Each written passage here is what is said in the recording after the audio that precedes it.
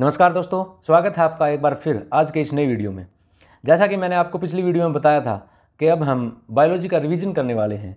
इन 90 days के crash course में हम पूरी बायोलॉजी की एन को रिवाइज करने वाले हैं और बिफोर 10 डेज़ एग्ज़ाम के हम इसे ख़त्म कर देने वाले हैं। आज हम सबसे पहला चैप्टर स्टार्ट कर रहे हैं प्लस वन का चैप्टर द लिविंग वर्ल्ड इसे हम स्टार्ट करने वाले हैं। सबसे पहले आइए लिविंग और नॉन लिविंग थिंग्स को डिफ्रेंशिएट कर लेते हैं। जैसा कि आपने छोटी क्लासों में पढ़ा होगा कि जो लिविंग थिंग्स होती हैं they respire they need energy they reproduce ऐसा ही यहाँ पर भी है। जो लिविंग थिंग्स होती हैं, जो हम मेनली कुछ करेक्टरिस्टिक लेते हैं डिस्टिंक्टिव फीचर लेते हैं, जिनके बेस पे हम लिविंग और नॉन लिविंग थिंग्स को डिफ्रेंशिएट करने वाले हैं। उनमें जैसे growth reproduction ability to sense environment जिसे हम कॉन्शियसनेस भी कहते हैं, और जो मेटाबॉलिज्म होता है ability to self replicate and self organise इनमें से कुछ करेक्टर ऐसे होते हैं जो लिविंग और नॉन लिविंग में कॉमन होते हैं। कुछ करेक्टर ऐसे हैं जो स्पेसिफिकली लिविंग ऑर्गेनिज्म ही शो करते हैं। जैसे metabolism and self consciousness self replication and self organisation growth और रिप्रोडक्शन में कुछ एक्सेप्शन हैं। जैसे जो नॉन लिविंग थिंग्स होती हैं, वो ग्रोथ कर सकती हैं। उनमें एक्सट्रांसिक ग्रोथ होती है। अब जो नॉन लिविंग थिंग्स जैसे कोई पहाड़ है, अब उसके ऊपर जितना कचरा गिरेगा, उसकी तो ग्रोथ होगी। उसे हम एक्सट्रांसिक ग्रोथ कंसिडर करते हैं और जो लिविंग थिंग्स होती हैं, उनमें इंट्रांसिक ग्रोथ होती है। इनर जो उनकी सेल्स होती हैं, वो ग्रो करती हैं। ये एक इसमें बिग डिफरेंस है। Our next topic is reproduction reproduction we can't decide a things is living और non living based upon reproduction because some of the living things also unable to reproduce like mules and some infertile couples also can't reproduce so we consider only metabolism consciousness self replication self organisation and cellular organisation also as defining property of a living organism और ये कुछ important points हैं जो आपने ध्यान में रखने हैं जैसे in animals this growth is seen only up to a certain age growth जो वुमेंस में होती है या एनिमल्स में होती है वो एक सर्टेन एज तक ही आ, होती है। और यूनिसेलुलर ऑर्गेनिज्म होते हैं, उनमें ग्रोथ होती है सेल डिवीज़न से होती है। और सेल डिवीज़न से भी रिप्रोडक्शन भी सेल डिवीज़न से होता है, इसलिए यूनिसेलुलर ऑर्गेनिज्म में हम ग्रोथ और रिप्रोडक्शन को एक्सक्लूसिव इवेंट नहीं बोल सकते, क्योंकि वो सेम ही चीज़ है। और जो लार्जर एनिमल होते हैं हायर एनिमल्स होते हैं और प्लांट्स होते हैं, उनमें जो ग्रोथ और रिप्रोडक्शन है, वो एक म्यूचुअली एक्सक्लूसिव इवेंट है। क्योंकि जो जनरल ग्रोथ होती है, जो बॉडी की वो अलग होती है, और रिप्रोडक्शन का फ़ेज़ अलग आता है बॉडी में। और नेक्स्ट हम बात करते हैं रिप्रोडक्शन की। जैसे मैंने आपको बताया कि रिप्रोडक्शन को भी हम डिफाइनिंग प्रॉपर्टी नहीं कह सकते, क्योंकि कुछ ऑर्गेनिजम्स ऐसे होते हैं जो रिप्रोडक्शन नहीं करते हैं। जैसे कुछ स्ट्राइल म्यूल्स होते हैं, और भी कुछ स्ट्राइल प्लांट्स भी होते हैं, और स्ट्राइल हुमेंस कपल आल्सो और रिप्रोडक्शन में कुछ एक पॉइंट है, जैसे in planaria there is true power of regeneration seen this is very important question और नेक्स्ट है इसमें हमारा metabolism some of the all chemical reaction in the living organism जिसे हम मेटाबॉलिज्म कहते हैं, ये एक डिफाइनिंग प्रॉपर्टी है लिविंग बींग्स की, क्योंकि मेटाबॉलिज्म नॉन लिविंग थिंग्स में नहीं पाया जाता except non living reaction in vitro जो ट्यूब होती है, जो एक्सटर्नल ट्यूब में हम कई बार एक्सपेरिमेंट परफॉर्म करते हैं, उनमें जो सेलुलर ग्रोथ होती है, वो हम लिविंग में उसको कंसिडर नहीं करते हैं। Hence cellular organisation of the body defining feature of a life form And consciousness also is a defining property of a living organism because all living organism responds. Maybe they respond uh, presence of light, uh, they always aware their surroundings except a patient in coma. Therefore, we can say that living organisms are self-replicating, evolving, self-regulating, interactive system capable to respond to their external stimuli because of consciousness. All living organisms present past uh, future are linked to one another by sharing the common genetic material but in degrees. जो सभी organism होते हैं उनमें common एक genetic material होता है but उसकी variation होती है वो सब सभी एनिमल्स में थोड़ा थोड़ा उसमें वेरिएशंस होता है मॉडिफिकेशंस होती हैं नेक्स्ट हमारे यहाँ पे जो लिविंग और नॉन लिविंग के डिफरेंशिएशन के बाद बायोडाइवर्सिटी की बात आती है कि number of and type of organism present और अर्थ अराउंड जो अभी तक डिस्कवर किए जा चुके हैं 1.7 to 1.8 million animal plants everything is discovered insect और हम कंटिन्यूसली न्यू ऑर्गेनिजम्स को डिफाइन कर रहे हैं आइडेंटिफाई कर रहे हैं, उनको नेम्स प्रोवाइड कर रहे हैं। जो कई जो एनिमल्स होते हैं, उनके लोकल्स नेम्स होते हैं बट जो हम बायोलॉजी में यूज़ करते हैं बायोलॉजिकल नेम ही यूज़ करते हैं। अभी हम बात करेंगे जो लिविंग ऑर्गेनिज्म है, उनके क्लासिफिकेशन के बारे में, उनके आइडेंटिफिकेशन के बारे में नोमन के बारे में, कि जो ऑर्गेनिजम्स हैं 1.6 1.8 जो मिलियन स्पीसीज डिस्कवर की जा चुकी हैं, उन्हें हमने कैसे कैटेगरीज में डिवाइड किया है। सबसे पहले इसमें हमारा जो प्रोसीजर होता है, वो होता है आइडेंटिफिकेशन सबसे पहले हम किसी भी ऑर्गेनिज्म को आइडेंटिफाई करते हैं, उसके जो कैरेक्टर्स होते हैं, उनको मैच करते हैं, और after identification there is Noman उन, जो ऑर्गेनिज्म होता है, उसका नामाकरण होता है और जो ऑर्गेनिजम्स का नेमिंग होती है, वो एक साइंटिफिक तरीके से होती है। उसमें कुछ साइंटिफिक रूल होते हैं और अब नोमन के लिए ये कुछ कोड वर्ड हैं जो हम प्लांट और एनिमल्स के लिए यूज़ करते हैं। जैसे an international code for botanical nomen I C Z N international code for zoological nomen universal rule for the nomen इसमें सबसे पहला रूल है biological name are generally Latin इनका जो बायोलॉजिकल नेम्स का लेटिन में लेटिन से ओरिजिन होता है, क्योंकि लेटिन एक डेड लैंग्वेज है, ये अभी यूज़ में नहीं होती है, इसलिए इसमें चेंजेस बहुत ही कम होते हैं। इसलिए हम जो बायोलॉजिकल नेम है, उनको यूनिक बनाने के लिए लेटिन लैंग्वेज का इस्तेमाल करते हैं। और जब हम रिटर्न फॉर्म में इसे लिखते हैं, जो फोन्स होते हैं, उनको इटैलिक्स फॉर्म में लिखते हैं।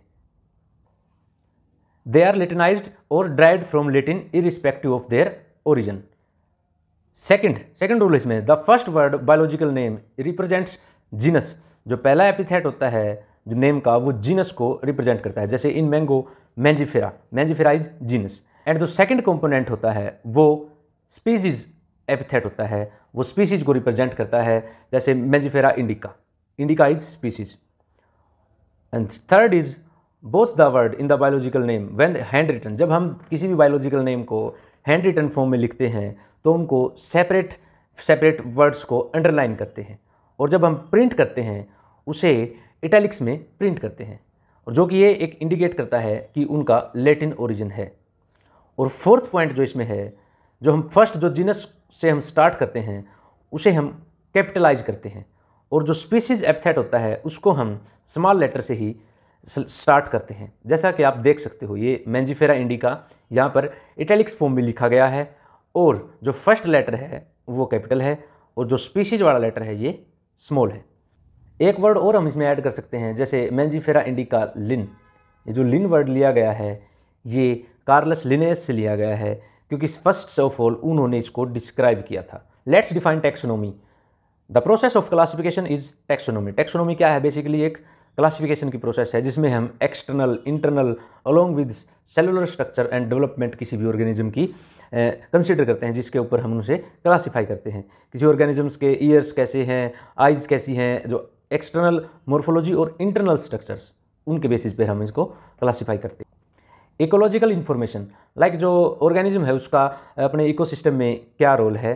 टेक्सोनोमी के साथ साथ एक और वर्ड आता है सिस्टमेटिक्स सिस्टमेटिक्स में हम जो ऑर्गेनिजम्स का क्लासिफिकेशन तो करते ही हैं उसके जो मेन्स फीचर्स के बेस पे। बट इसमें हम एक और चीज़ स्टडी करते हैं। ऑर्गेनिज्म की इवोल्यूटरी रिलेशनशिप्स को स्टडी करते हैं। Taxonomic categories as you know the categorisation is not a single process it involve various hierarchies and steps that divide an organism into ranks and categories categories is overall part of taxonomic arrangement organisms को divide करते हैं, जैसे species genus family order class phylum और kingdoms में। जो single जो step होता है सिंगल कैटेगरी होती है, उसे हम एक टैक्सोन कहते हैं।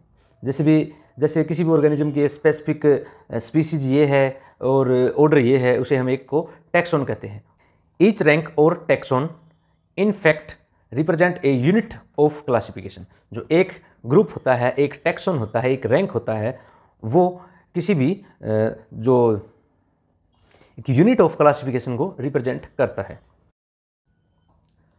अब मेन जो कैटेगराइजेशन सिस्टम स्टार्ट होता है, वो हमारा यहाँ से होता है। जो हमारी सेवन ब्रॉड कैटेगरीज हैं उनसे होता है। Species genus family order class phylum और किंगडम जो लोएस्ट हमारा कैटेगरी होती है लोएस्ट कैटेगरी जो होती है, वो यहाँ पर स्पीसीज है। और स्पीसीज में हम कैसे ऑर्गेनिजम्स को डिवाइड करते हैं? स्पीसीज में हम जो ऑर्गेनिज्म की फंडामेंटल सिमिलरिटीज़ के बेस पर सेपरेट करते हैं। स्पीसीज का कंसेप्ट सबसे पहले जॉन रे ने इंट्रोड्यूस किया था। जैसे ये मैंजीफेरा इंडिका सोलिनम ट्यूबरसम, जो पोटैटो के लिए हम नेम यूज़ करते हैं। पेंथेरा लियो, जो कि लायन के लिए। अदर, जैसे यहाँ जिनस है पेंथेरा, लियो, ये स्पीसीज है लाइन और टिग्रिस पेंथेरा टिग्रिस। टिग्रिस हम यूज़ करेंगे टाइगर के लिए और लायन और टाइगर में मोस्टली सिमिलरिटीज़ होती हैं। Genus comprises a group of related species which more characters in common. जितने ज़्यादा कॉमन करेक्टर होंगे स्पीसीज में, उनको हम एक जीनस में डाल देते हैं। जैसे आप देख सकते हो, lion, Panthera leo, leopard, Panthera pardus, tiger, Panthera tigris and the next category is family as a group of related genera अब जितनी जेनरा होते हैं रिलेटेड उनको हम एक फैमिली में रखते हैं। और यहाँ क्या होता है? Number of similarities as compare to genus and species यहाँ पे लेस नंबर ऑफ़ सिमिलरिटीज़ हैं। जितनी जो कॉमन करेक्टर सिमिलरिटीज़ जीनस में थी स्पीसीज में थी, उनसे यहाँ पे कम जो कॉमन करेक्टर ऑर्गेनिज्म में दिखाई देते हैं। और फैमिली में डिवाइड करने के लिए हम बोथ वेजिटेटिव और रिप्रोडक्टिव फीचर्स प्लांट के यूज़ करते हैं। जैसे यहाँ पे फेलिस, जो हम कैट्स की कैटेगरी फैमिली जिसे हम बोलते हैं फेलेडी और फैमिली के बारे में एक चीज़ और इम्पोर्टेंट हमें याद रखनी है कि जो एनिमल्स की फैमिली होती है, उनको हम कैसे पहचानेंगे? एम एनिमल्स की फैमिली के लास्ट में ये idea I D E A word लिखा मिलेगा। जैसा कि आप दोनों फैमिलीज़ में यहाँ देख सकते हो। और जो प्लांट की फैमिलीज़ होती हैं, उनमें ए सी ई ए ई वर्ड लिखा होता है। जैसे एनिमल्स में आइडिया लिखा होता है।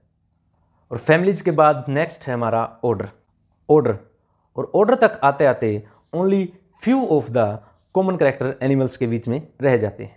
Assemblage of family which exhibit a few similar character जैसे ऑर्डर्स की बात करते हैं हम कार्निवोरा कार्निवोरा ऑर्डर में इंक्लूड्स फैमिली लाइक फेलेडी और कैनेडी ऑर्डर के बाद हमारा आता है क्लास। क्लास में जो the this category include related order जितने भी ऑर्डर्स होते हैं, वो रिलेटेड ऑर्डर होते हैं, उनको हम क्लासेज में रखते हैं। जैसे ऑर्डर हम प्राइमेटा प्राइमेटा में कौन से कौन से ऑर्गेनिज्म आते हैं? मंकी गोरिल्ला गिबोन्स उनको एक ही क्लास में रखा गया है मेमिलिया ये मेमिलिया जो क्लास होती है, इसमें मेनली मैमल्स होते हैं, जो स्तनधारी जीव होते हैं, उनको हम रखते हैं। विद ऑर्डर कार्निवोरा और कार्निवोरा में कौन से कौन से एनिमल्स आते हैं? टाइगर, कैट, डॉग, सभी मैमल्स हैं। इनको हम एक क्लास में रखते हैं। और नेक्स्ट है हमारा फाइलम। अब क्लासेज के बाद फाइलम। फाइलम एनिमल्स के डिवीज़न के लिए यूज़ करते हैं और डिवीज़न प्लांट्स के लिए यूज़ करते हैं। अब जैसे क्लासेज हैं, जैसे फिशेज, एम्फीबियन, बर्ड्स, रेप्टाइल, इनको हम एक फाइलम में लेते हैं। जैसे फाइलम कोर्डेटा अदर जैसे नॉन कोर्डेट्स होते हैं, उनको हम नॉन कोर्डेटा में कंसिडर करते हैं। जो कोर्डेट होते हैं, उनमें नोटोकोर्ड प्रेजेंट होती है और dorsal hollow neural system present होता है। और प्लांट के लिए हम डिवीज़न वर्ड का यूज़ करते हैं। और फाइनली है हमारा किंगडम। किंगडम में all animals belonging to various phyla जितने भी फाइलम और डिवीज़न से रिलेटेड एनिमल्स होते हैं, उनको हम किंगडम में रखते हैं। जैसे द किंगडम प्लांटे प्लांटे में कौन कौन जितने भी प्लांट हैं, वो हम प्लांटे में रखे हैं। एनिमेलिया एनिमेलिया में जितने एनिमल्स हैं, वो एनिमेलिया किंगडम में रखे हैं। माइक्रोब्स का डिवीज़न जैसे मोनेरा और प्रोटिस्टा अलग अलग किंगडम में किया गया है और फंगस को अलग किंगडम फंजाई में रखा गया है। ये फाइव किंगडम क्लासिफिकेशन के अकॉर्डिंग है और ये हम ब्रॉड कैटेगरी सेवन इनको याद रखना है।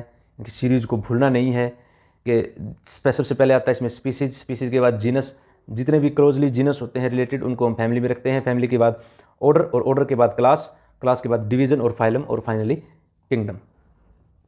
Organism and their taxonomic categorization. Common name, ये कुछ ऑर्गेनिज्म हैं जिनके यहाँ पर कॉमन नेम और जो अदर कैटेगरी शो की गई है, इनको आपने सभी को याद रखना है। You must familiar with these categories जैसे human man homo sapiens genus homo family hominidae order primata class mammalia phylum chordata अब जो हमारा जितना भी कैटेगरी सिस्टम है डिवीज़न सिस्टम है क्लासिफिकेशन सिस्टम है, उसको हम साल दर साल कैसे बरकरार रखते हैं, कैसे हम उनको चीज़ों को याद रखते हैं, कुछ टेक्सोनोमिकल एड होती हैं, जिन, जिनकी मदद से हम, जिनकी सहायता से हम एनिमल्स को, प्लांट्स को क्लासीफाई करते हैं, न्यू ऑर्गेनिजम्स को आइडेंटिफाई करते हैं, उन टेक्निक को हम टेक्सोनोमिकल एड कहते हैं। Biologist have establish certain procedure and techniques to store and preserve information as well as specimen हम जो इन्फॉर्मेशन और स्पेसिमेन को प्रिजर्व कर लेते हैं किसी भी स्पीसीज के, जो कि फर्दर क्लासिफिकेशन में या आइडेंटिफिकेशन में हेल्प करता है। Some of these explain below अब यहाँ पे कुछ ऐसी चीज़ें एक्सप्लेन की गई हैं। सबसे पहला इसमें हमारा herbarium is store house of collected plant specimen that are dried pressed and preserve on sheet herbarium में क्या होता है? जो प्लांट होता है प्लांट के जैसे लीव्स हैं, उनको तोड़ के ड्राई फॉर्म में एक सीट के ऊपर लगा के म्यूज़ियम होता है, उसमें रख लेते हैं। और जो हर्बेरियम टेक्निक है, उनमें सबसे पहले क्या होता है? कलेक्शन एक लीव्स को या फिर किसी और पार्ट्स को हम कलेक्ट करते हैं प्लांट से रिमूव करते हैं, उसके बाद में उसे ड्राई करते हैं उसकी पॉइजनिंग करते हैं, ताकि जो कोई भी जो माइक्रो ऑर्गेनिज्म उस पर एक्ट ना कर सके। माउंटिंग करते हैं स्टिचिंग करते हैं लेवलिंग करते हैं और उसको फाइनली म्यूज़ियम में डिपॉजिट रखते हैं। स्पेसिमैन की पॉइजनिंग के लिए हम 0.1 percent H G C L two use करते हैं। और एक हर्बेरियम होता है हर्बेरियम सीट का जो साइज़ होता है 41 one into twenty nine centimetre इसके पैरामीटर्स होते हैं, जो आपको याद रखने। इस डायग्राम में यहाँ एक हर्बेरियम शोविंग स्टोर्ड स्पेसिमेन यहाँ पर एक ये सीट्स हैं डिफरेंट डिफरेंट जिन पर स्पेसिमेन लगाए हैं और उनको स्टोर किया गया है। अभी जो इनको स्टोर करने के लिए बेंथम्स हैंड हुकर्स का जो रिसेंट मॉडल है यूनिवर्सल एक्सेप्टेड सिस्टम है, उसके अकॉर्डिंग हम इन्हें स्टोर करते हैं। जो इन्फॉर्मेशन है इस हर्बेरियम पे वो क्या क्या होती है? Information about date and place of collection English name local name और बोटनिकल नेम उसका होता है फैमिली कलेक्टर नेम और herbaria also serve as a quick इसे हम quick referral system of taxonomic studies भी कहते हैं। और नेक्स्ट है हमारा बोटनिकल गार्डन एक स्पेशलाइज एरिया होता है जहाँ पे लिविंग प्लांट्स को not their products and leaves anything only living plants को हम ग्रो करते हैं, उनको आइडेंटिफाई करते हैं। जो प्लांट होते हैं, उनको बोटनिकल नेम और साइंटिफिक नेम और फैमिली उनकी वहाँ पर मेंशन करते हैं। और बोटनिकल गार्डन में क्या होता है दोस्तों, जो एंडेंजर्ड और जो एक्जोटिक स्पीसीज़ है, उनको हम स्पेशली ग्रो करते हैं। और बोटनिकल गार्डन के बाद में आता है हमारा म्यूज़ियम म्यूज़ियम में क्या होता है? म्यूज़ियम किसी भी एजुकेशनल इंस्टीट्यूट या फिर स्कूल या फिर कॉलेज में बने होते हैं। इनमें क्या होता है? जो प्लांट्स के हर्बेरियम स्टोर होते हैं प्लांट के हर्बेरियम पे प्लांट को रखते हैं हम। और जो इंसेक्ट होते हैं इंसेक्ट को भी प्रिजर्व रखते हैं। इंसेक्ट बॉक्सेज के अंदर after their collection killing and pinning okay जो लार्ज एनिमल्स हैं लाइक मंकीज़ बर्ड्स और अदर मैमल्स हैं, उनको हम स्टफ़ फॉर्म में रखते हैं। उनके जो एक्सटर्नल मोर्फोलॉजी को प्रिजर्व करके जो अंदर वाला पार्ट निकाल देते हैं और उसके अंदर भूसा भर देते हैं। नेक्स्ट है हमारा जूलॉजिकल पार्क जूलॉजिकल पार्क या फिर जू जिसे हम कहते हैं, आपने देखा होगा learn about their food habitats इसमें क्या होता है? जो एनिमल्स होते हैं डिफरेंट डिफरेंट एनिमल्स होते हैं, उनको हम प्रोटेक्ट करते हैं और जो ह्यूमन केयर में उसको हम रखते हैं। और similar and their natural habits जो हैबिटेट होता है, जो सिमिलर होता है, जो कंडीशन उन्हें फॉरेस्ट में प्रोवाइड होती है, वो हम एक जू में प्रोवाइड करते हैं। इसमें नेक्स्ट है हमारा key keys keys are another taxonomical aids use to identification of plant and animal ये भी हम जो प्लांट के आइडेंटिफिकेशन के लिए यूज़ करते हैं प्लांट और एनिमल्स की, इसमें क्या होता है? सिमिलरिटीज़ एंड डिसिमिलरिटीज़ के बेस पर हम एक जो इंडिविजुअल के करेक्टर्स को देखते हैं और उनमें से पेयर ऑफ़ करेक्टर्स होता है जिन्हें हम कोपलेट कहते हैं। Each statement in the key is called lead जो एक स्टेटमेंट होती है, उसे हम लीड कहते हैं और दो जो पेयर ऑफ़ स्टेटमेंट हैं, जिनमें हम एक एक को एक्सेप्ट करते हैं, एक को रिजेक्ट करते हैं, उसे हम कोपलेट कहते हैं।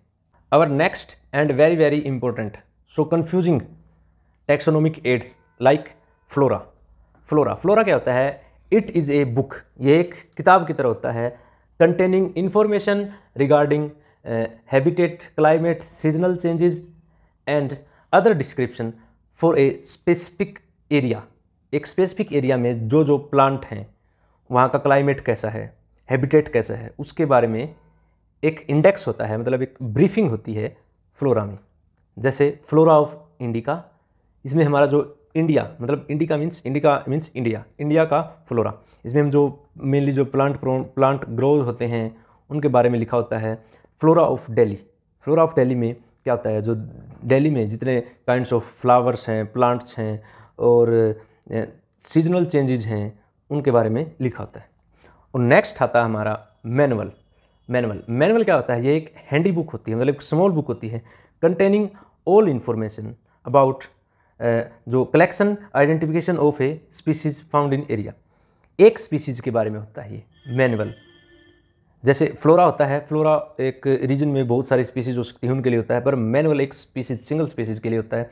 एक नेक्स्ट है हमारा मोनोग्राफ मोनोग्राफ में एक पर्टिकुलर टेक्सोन जैसे फैमिली जीनस उसके बारे में लिखा होता है। और एक है कैटालॉग। कैटालॉग्स में क्या आता है? List of all species arranged. A particular area में जितनी भी स्पीसीज़ हैं, उनकी एक ब्रीफ डिस्कश, एक ब्रीफ डिस्क्रिप्शन होती है। Monograph contains information about any single taxon.